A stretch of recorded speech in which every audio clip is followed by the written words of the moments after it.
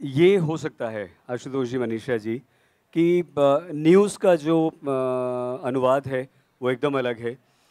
कविता कहानी का अनुवाद एकदम अलग है और सबसे बड़ा तकनीक, जो तकनीकी अनुवाद होता है या जो हम भारत सरकार के अगर गजट्स देखें या उनकी जो चीज़ें देखें, वो अनुवाद बहुत बहुत ही अलग होता है। लेकिन आज, क्योंकि युवा पीढ़ी है और युवा पीढ़ी हमारी यहाँ पर एड से विज्ञापन से बहुत प्रभावित है। तो जो विज्ञापन में छोटा टेढ़ा है पर मेरा है आ, मेरा कुर्ता तेरे कुर्ते से सफ़ेद कैसे? मेरी कमीज़ तेरी कमीज़ से सफ़ेद कैसे? ये जो अनुवाद है क्योंकि आमतौर पे आज भी वही चलन चल रहा है जो अफसोस भी होता है मनीषा जी कि अंग्रेज़ी में वो लिखा हुआ ऐड आता है और उसे हम लोगों को हिंदी में अनुवाद करना पड़ता है। ये थोड़ा सा तकलीफ़ होती है। दुख होता है, लेकिन क्या करें? चल रहा है। देखिए, अनुवाद एक कला है। अनुवाद एक कला है। तो लेखन भी एक कला है। जिस तरह से अलग अलग ढंग से लिखा जाता है, उसी तरह से अलग अलग ढंग से अनुवाद किया जाता है। आपको एक बहुत इंटरेस्टिंग इंसिडेंट बताते हैं। वोद का ड्रिंक जो है, रशिया में नॉर्मल कंजर्वेटिव एडल्ट लोग मतलब बूढ़े लोग कल्चरली उसको पीते हैं। तो वोदका को जब इंग्लैंड में लॉन्च किया गया वो पूरा उनका जो कैंपेन था एडवर्टीजमेंट कैंपेन वो फेल हो गया। वो इसलिए फेल हुआ क्योंकि वहाँ पे भी वो आ, बड़े बुज़ुर्गों को वो कर रहे थे टारगेट कर रहे थे अपने ऐड में। वोदका जो है इंग्लैंड इंडिया यहाँ जब आया ये यंगस्टर्स के लिए आया जवान लोगों के लिए आया है तो उनको पूरा का पूरा जब कैंपेन फेल हो गया उनको रीअसेस करना पड़ा और फिर वो कैंपेन लॉन्च किया गया टारगेट ऑडियंस बदल के। तो एक तो आपके टारगेट ऑडियंस पे बहुत फ़र्क पड़ता है किसके लिए लिखा गया है कैसे लिखा गया है उसी से अनुवाद आपको देखना पड़ता है कि आप कैसे कर रहे हैं। भावार्थ आशुतोष जी हमें मनीषा जी की बात से यही समझ में आया कि भावार्थ ज़्यादा महत्वपूर्ण है मानते हैं आप? हाँ भावार्थ तो महत्वपूर्ण है ही लेकिन साथ में मुझे लगता है कि जो कंटेक्स्ट है कंटेक्स्ट जो है वो बहुत इंपॉर्टेंट है संदर्भ बहुत ज़रूरी है कि अगर जैसे आपने अभी विज्ञापन की बात करी तो विज्ञापन किस चीज़ का विज्ञापन है और किसके लिए किया जा रहा है, वो टारगेट ऑडियंस जो है वो बहुत इंपॉर्टेंट है और उसी से कंटेक्स डिसाइड होता है।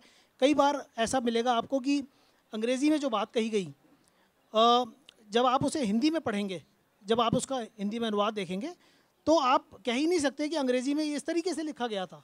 बिल्कुल बदल जाती है बात।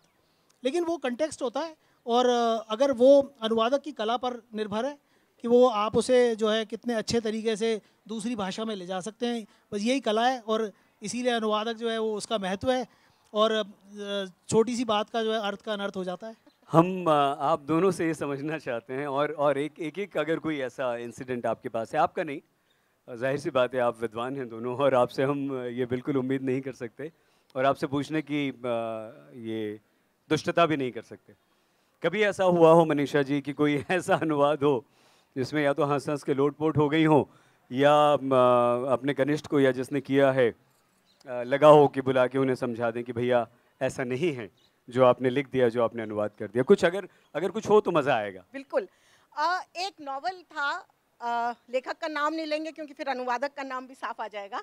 तो उसके अनुवाद का हम प्रूफ रीडिंग कर रहे थे। ये नॉवल जो था इंडिया पाकिस्तान वॉर नॉवल था। बॉर्डर पे बेस्ड था।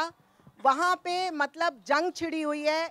भारत के सिपाही बॉर्डर पार करके पाकिस्तान में घुस चुके हैं और वहाँ पे जो जनरल है वो मतलब इस्लामाबाद में खूब गुस्सा हो रहा है और उसने फ़ोन किया आ, जो बॉर्डर पे कर्नल बैठा था। तो वो आदमी खड़ा हुआ फ़ोन लेके और अनुवाद जब हमने पढ़ा तो हमें समझ ही नहीं आया कि इसका मतलब क्या है क्योंकि उस हिंदी अनुवाद में लिखा था उसने फ़ोन रखा और अपना निचला हिस्सा तेज़ी से हिलाया। तो ये निचला हिस्सा तेज़ी से हिलाया का मैं वो नाचने क्यों लगा? हमको तो ये समझ ही नहीं आया कि वो नाच क्यों रहा है जब डांट पड़ी है।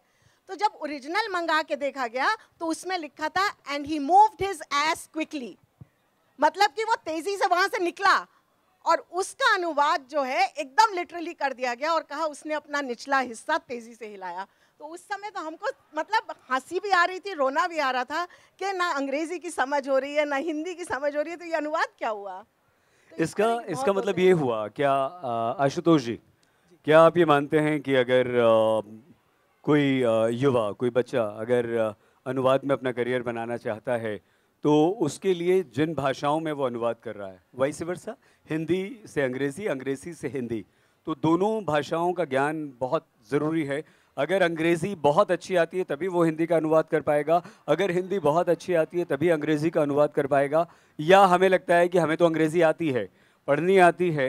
आ, हमने अंग्रेज़ी को सीखा नहीं है टेंस नहीं सीखे हैं जिस तरह से हिंदी की व्याकरण नहीं सीखी। तो गड़बड़ होती है सर? आ, ये आपने सही जी बहुत अच्छा सवाल किया। देखिए क्या होता है कि दो भाषाएँ तो इन्वॉल्व हैं इसमें।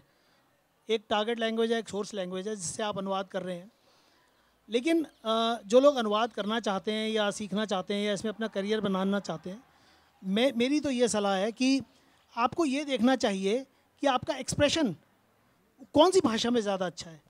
दोनों भाषाओं में एक जैसा एक्सप्रेशन तो बहुत ही रेयर कॉम्बिनेशन है, मुश्किल से आपको मिलेगा।